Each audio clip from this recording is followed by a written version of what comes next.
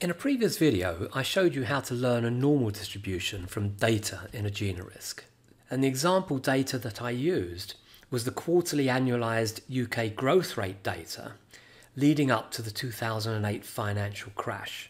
During that period, growth was good and steady, rarely going below about 1.5% and rarely going above 4%.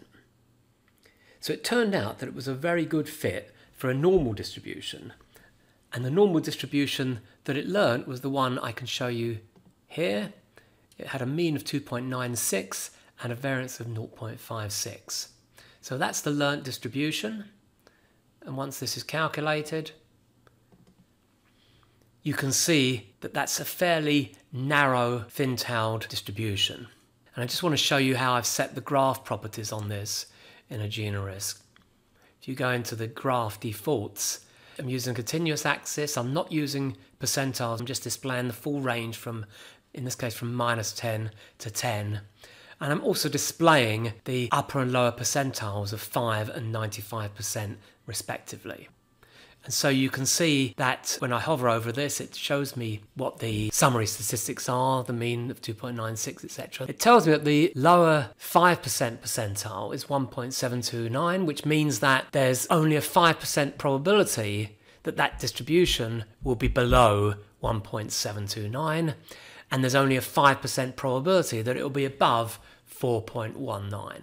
So that's a fairly narrow distribution, and because that distribution is so thin-tailed, any attempt to base future predictions on it would have failed to capture what might have happened. Indeed, with this model, a growth rate in the next quarter of less than 5% is essentially impossible, which you can see just here.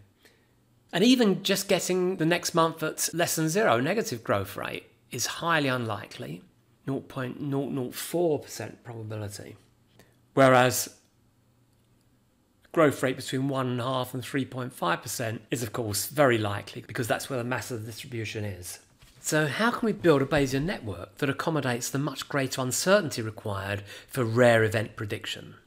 Well, one way is to use an adaptation of this model.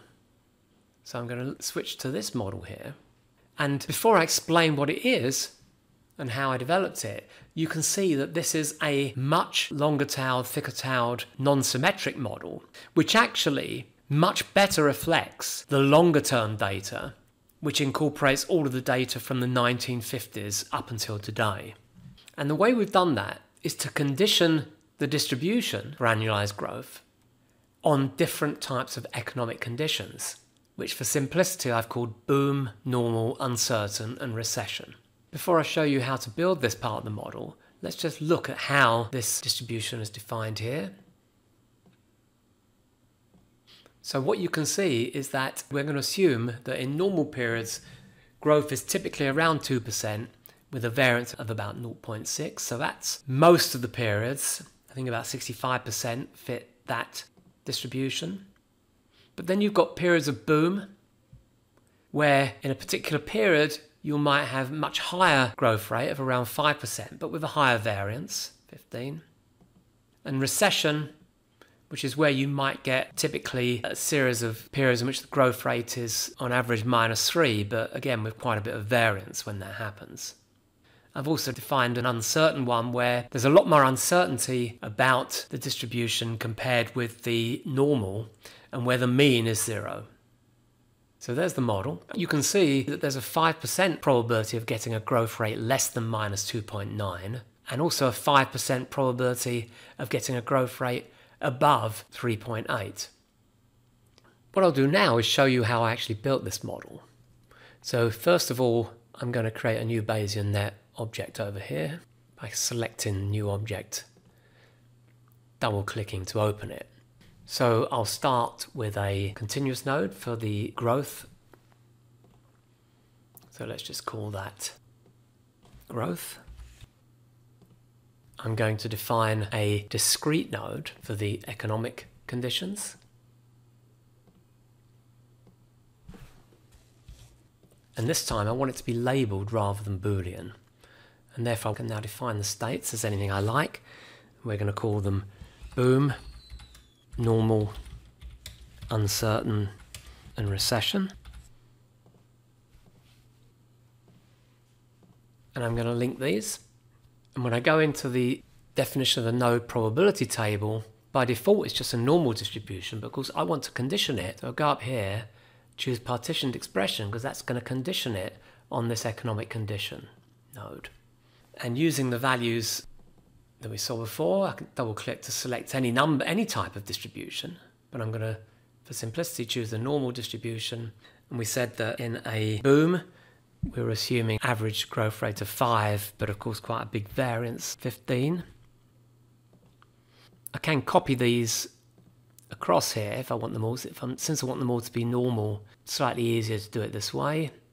And I just change the parameters.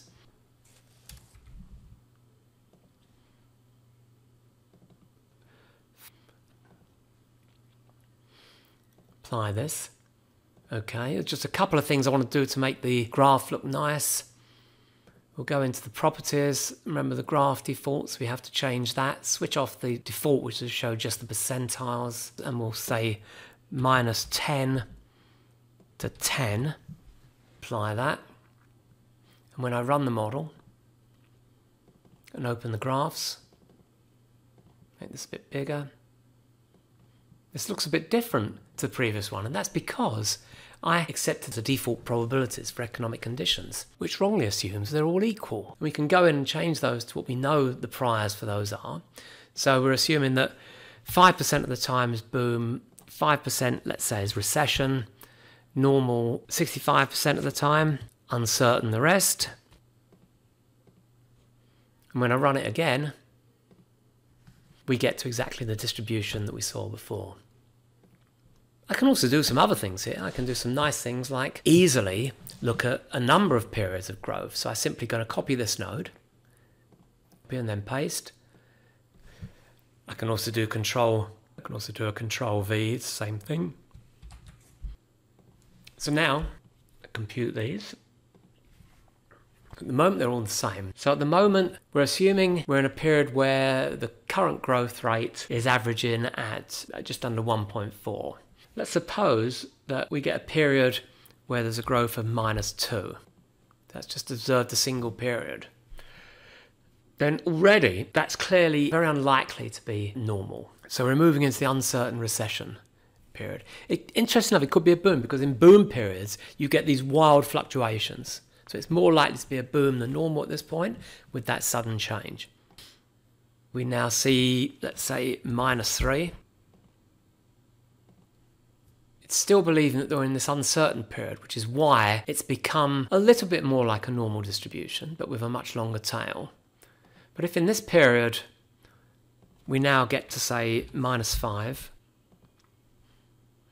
then we're now much more likely to be in a recession and there's the predicted distribution for the next period. If you enjoyed this video, please check out the many others that you'll find on my YouTube and Rumble channels. Goodbye.